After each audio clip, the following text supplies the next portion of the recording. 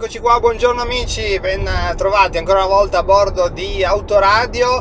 Stiamo per eh, iniziare una nuova puntata e stiamo per ospitare eh, qua a bordo di Outlander FEV, ancora una volta l'auto che ci ha messo a disposizione la concessionaria eh, Seat Mitsubishi eh, Top 4 di Cuneo, modello dell'Olmo.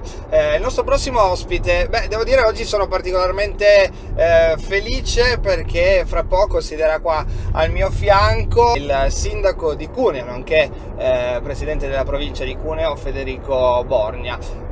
Cercheremo di non parlare quasi mai di politica, ma cercheremo di conoscere eh, un pochino meglio il nostro sindaco eh, di Cuneo. Quindi fra pochissimo adesso la sigla e poi si comincia qua su Outlander Fab Plugin con Federico Borgna.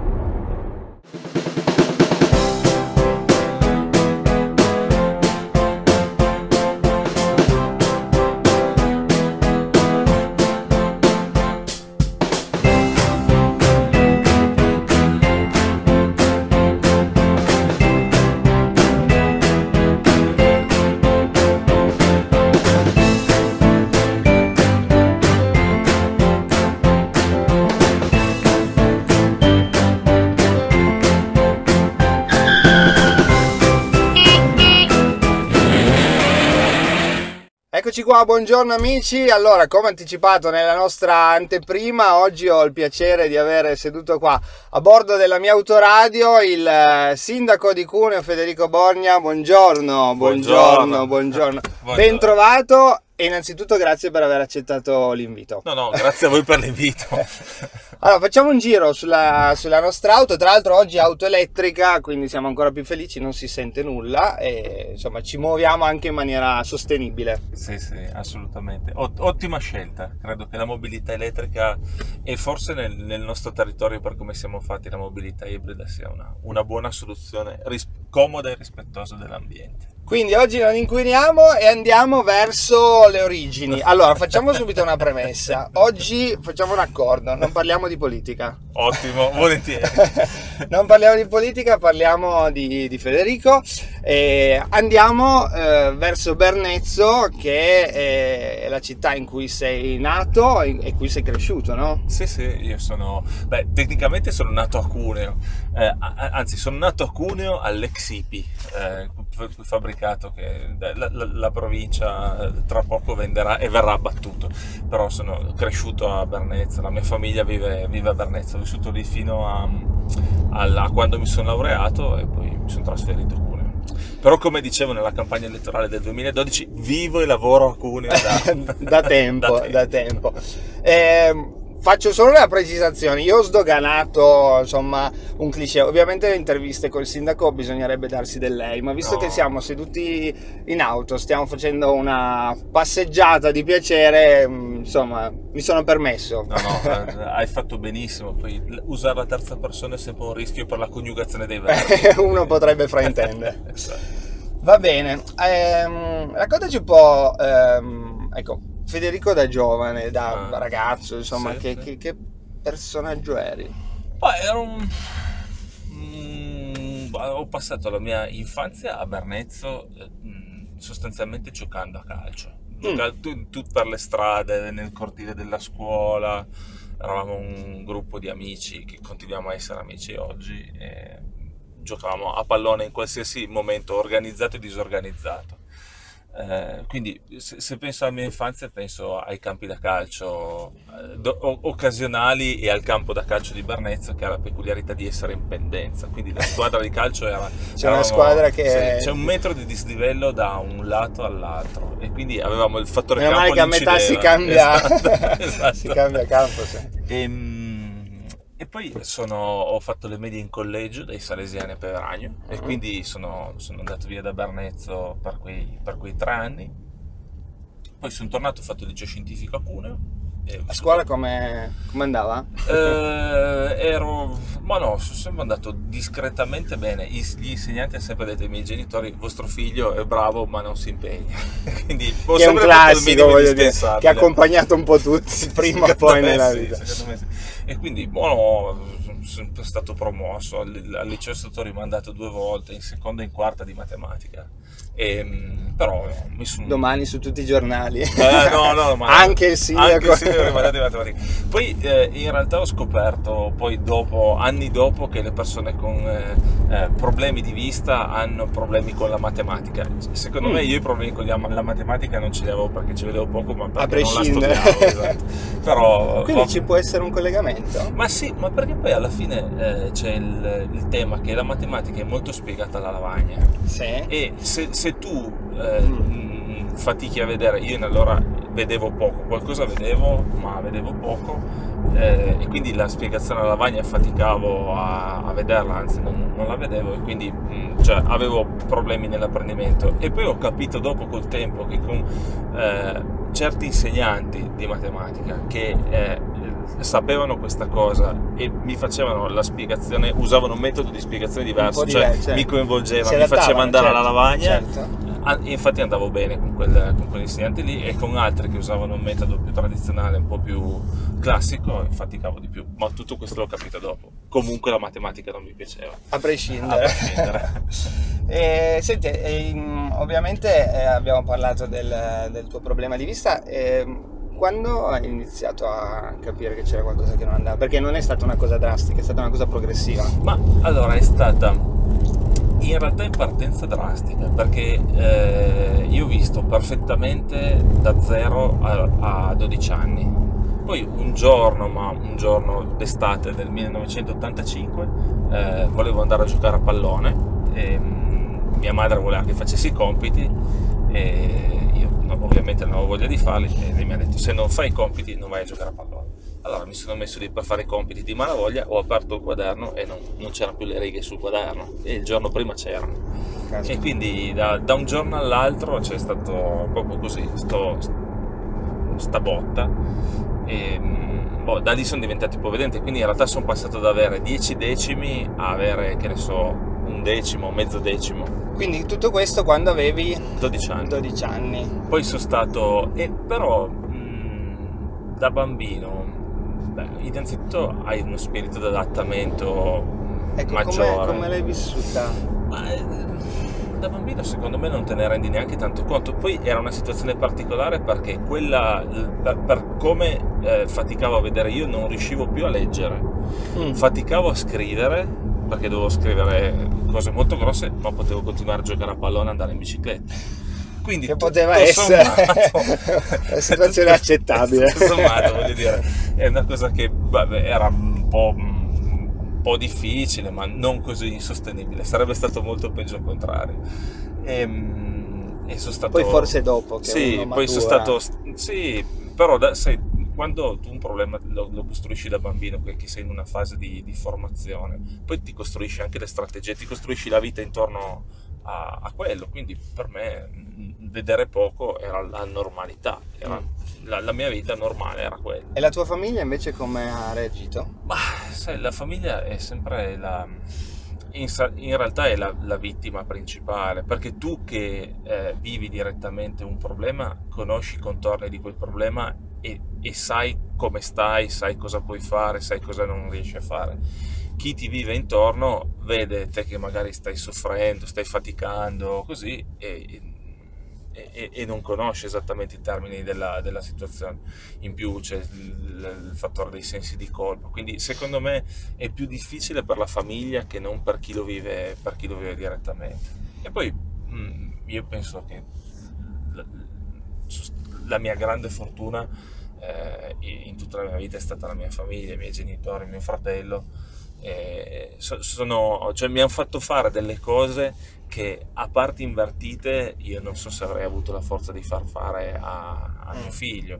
E hanno saputo osservarmi da lontano, lasciarmi battere qualche testata e immagino che, insomma, che, che livello di, di, tensione potevano avere, perché io ero un ragazzino che, un ragazzino insomma, un carattere non semplice, mettiamola così, era un attivo, po' testone, attivo. esatto, sì, era attivo. Sì non so quando ho finito quinta superiore sul partito da Bernezzo con mio cugino abbiamo preso tutti i nostri risparmi e siamo andati negli Stati Uniti però, Io- on the road. No, on the road, mai usciti da, da Bernezzo io, da Borgo lui, e, e sapevamo quando eh, partivamo e non sapevamo quando saremmo tornati. Infatti siamo stati penso quattro mesi, siamo tornati Però. io avevo un quarto di dollaro, però è stata un'esperienza incredibile. Ma eh, parlando col senno di poi, evidentemente nella tua vita hai fatto tutto quello che avresti potuto fare se avessi avuto una vista normale. Hai sempre avuto questa consapevolezza o l'hai maturata strada facendo?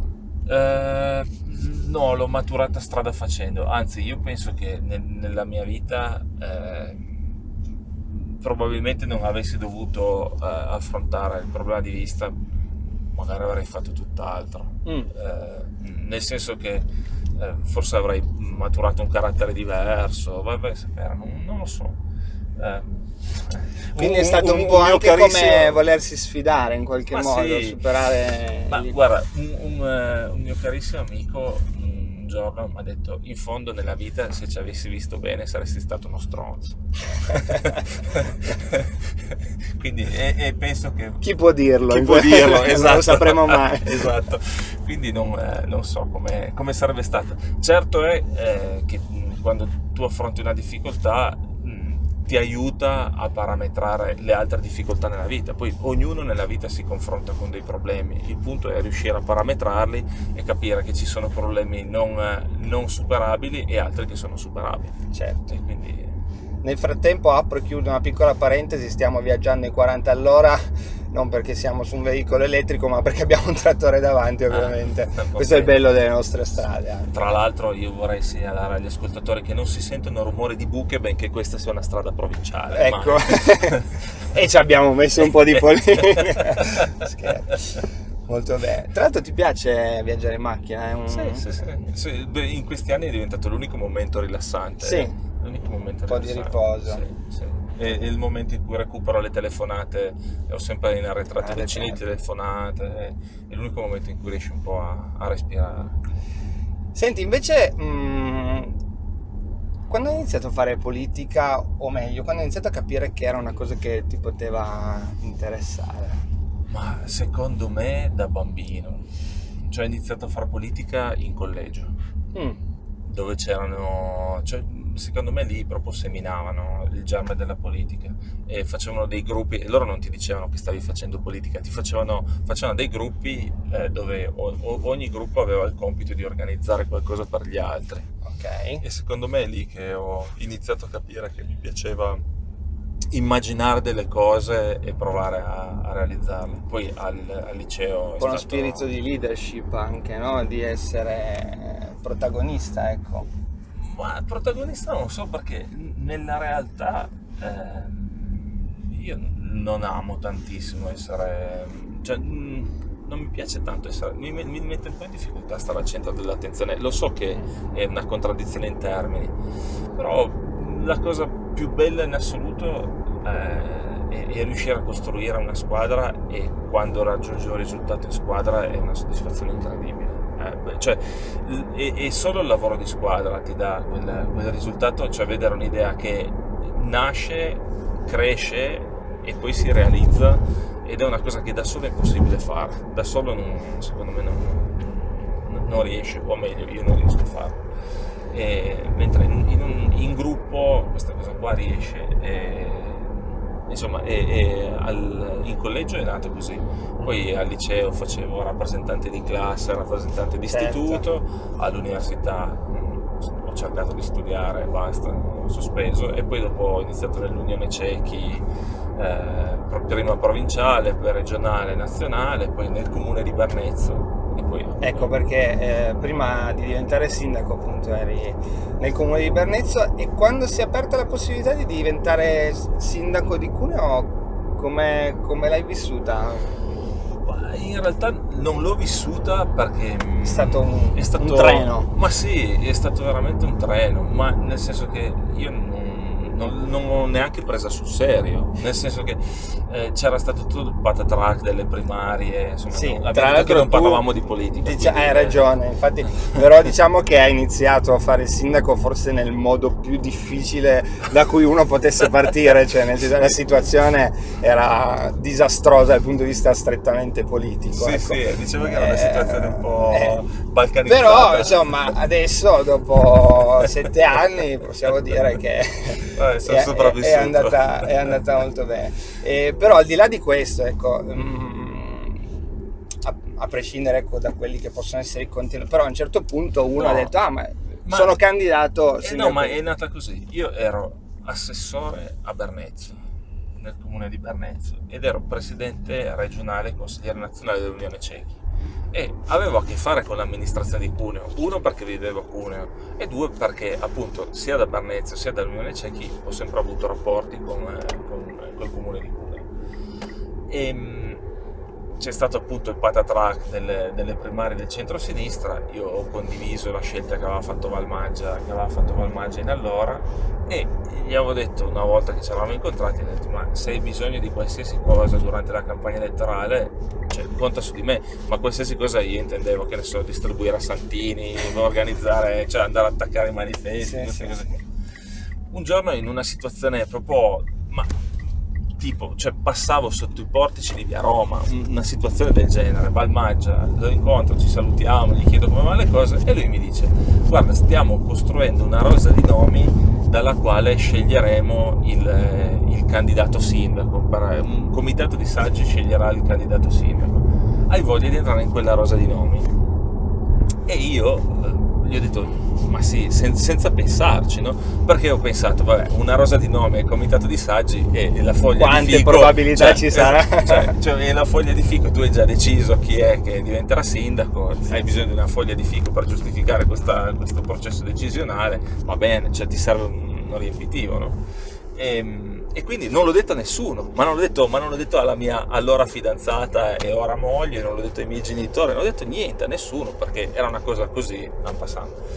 E, e niente, una mattina mia madre mi manda un messaggio e mi dice: Ma scusa, ma sei candidato sindaco a Cuneo? e io Le voci risposto, che girano. E io l'ho risposto: Non che io sappia, virgola, perché? E lei, perché c'è scritto sul giornale. Così E il giornale non mente mai, e il giornale non mente quasi mai. Quasi mai. Bene, il tuo rapporto con Cuneo invece cosa pensi de- della nostra città? Allora, il mio rapporto con Cuneo è, mm, è- è il- io sono perdutamente innamorato della nostra città. E mm, l'osservatorio da sindaco è un osservatorio incredibile perché tu conosci tutta quanta la città Certo. e- ed è incredibile quante cose ci siano a Cuneo e quante cono- cose non siano conosciute dai cuneesi ma da tutti quanti gli aspetti, eh, dall'aspetto sociale, solidale, culturale, sportivo, eh, del volontariato, insomma è, è una città che ha, ha veramente delle, delle risorse incredibili. E infatti secondo me amministrare Cuneo è tutto sommato facile, nel senso che si tratta solo di lavorare sulla, sulla consapevolezza, cioè noi, noi abbiamo, noi cunesi, secondo me abbiamo un problema di consapevolezza e quindi di autostima. Noi viviamo in una delle città che dal mio punto di vista hanno una qualità della vita più alta a livello Certo. mondiale, Certo. perché abbiamo, cioè, noi diamo per scontato l'aria buona, l'acqua buona, la, la- la vivibilità, la qualità ambientale, il paesaggio, lo skyline, la sicurezza. Per noi è tutto normale. Certo.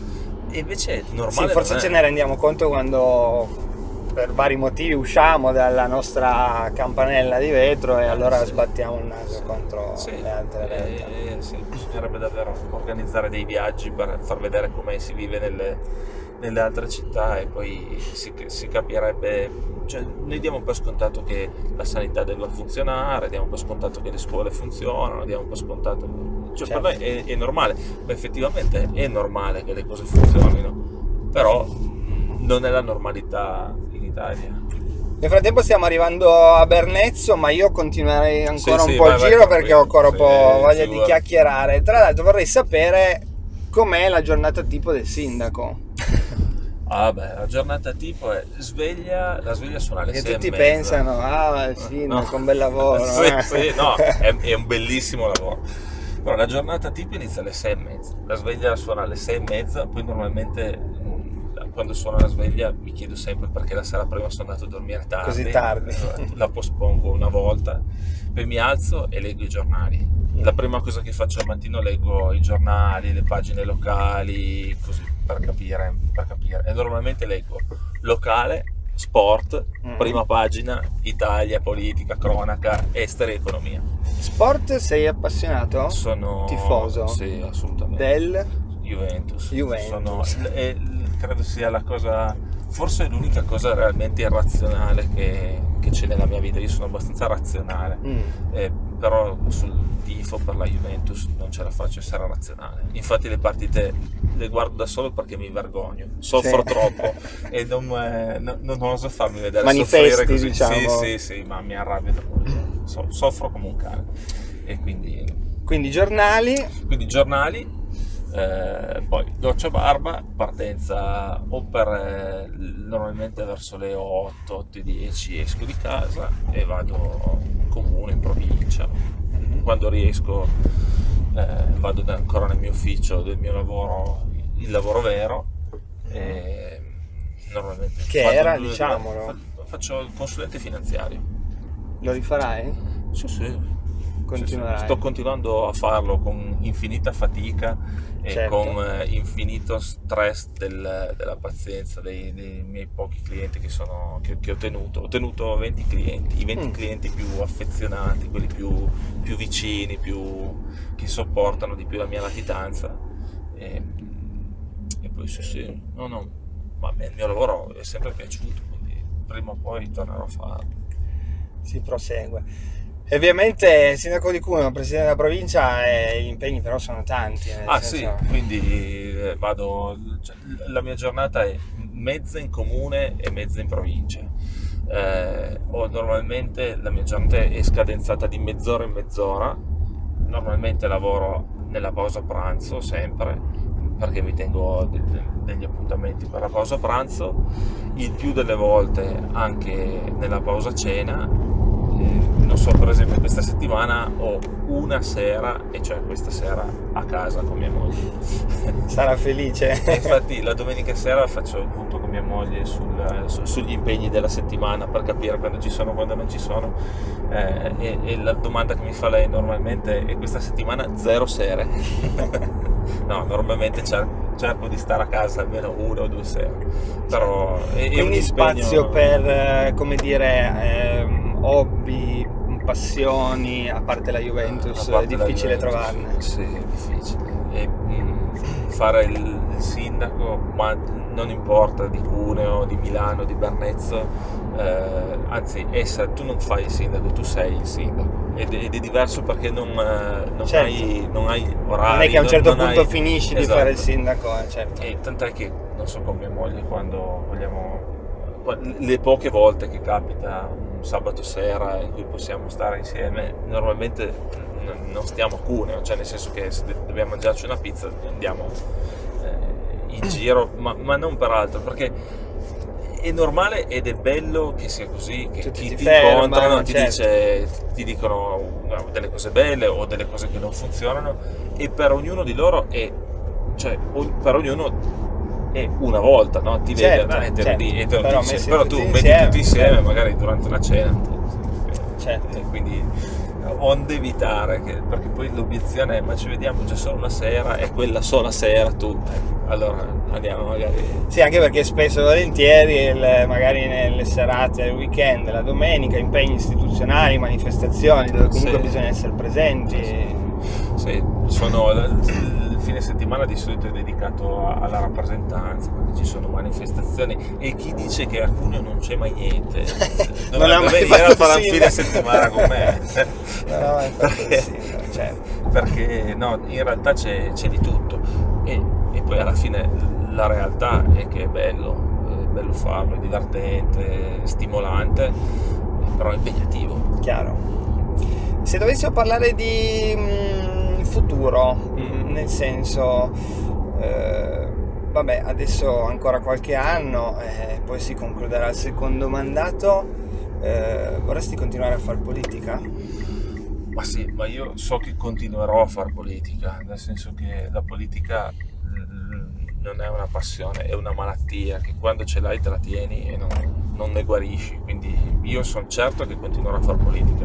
Non so in che ruolo, non so cioè ci sono persone che programmano, hanno, hanno i prossimi vent'anni sì, programmati, sì. scadenzati.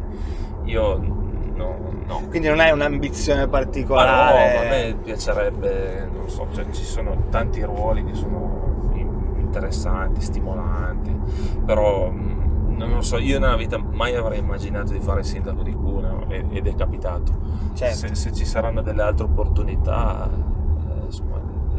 se, se- se Si sarà colgono, possibile cercherò certo. di coglierle Certo. ma non, non divento matto a correre dietro un obiettivo, anche perché parto da, da un vantaggio che è un vantaggio notevole, che cioè, a me la mia vita prima di diventare sindaco piaceva, ma Certo, mi piaceva molto. certo.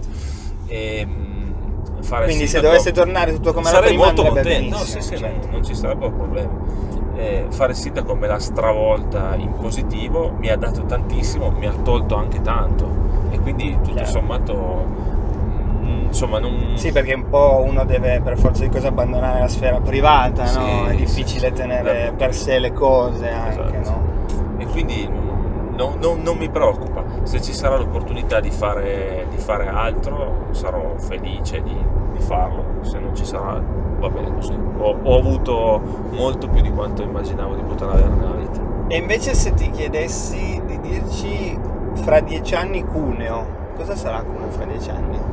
fra dieci anni Cuneo secondo me allora, sarà una città immaginiamo Cuneo con i progetti completati quindi con eh, la parte i parchi nella parte alta nella zona di, di Piazza d'Armi l'area per le grandi manifestazioni alla Montezemolo la, la- la riqualificazione completata della parte alta della città.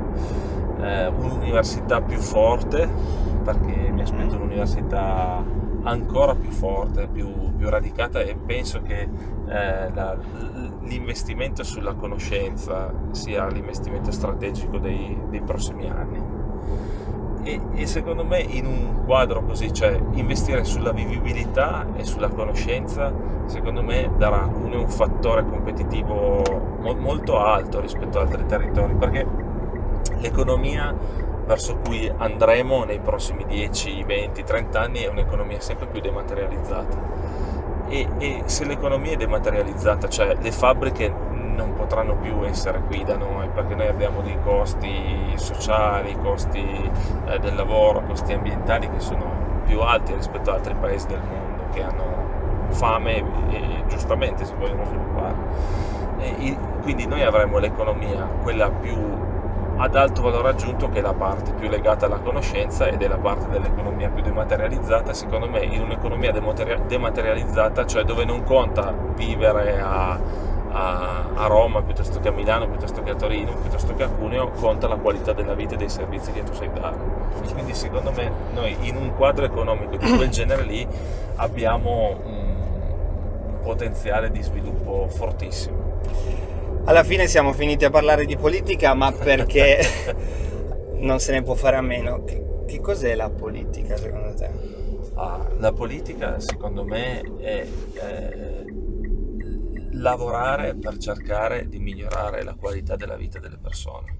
Que- secondo me, in, in profonda sintesi, la politica è quello. Poi la puoi declinare su. E uno ce l'ha o non ce l'ha. Eh, secondo me. Va bene. Allora, torno fer- verso Bernezzo. eh, viene ancora Bernezzo, nel senso hai un legame? Quando riesco, sì, sì, sì. Io, i miei genitori, mia, i miei genitori e mio fratello vivono a Bernezzo.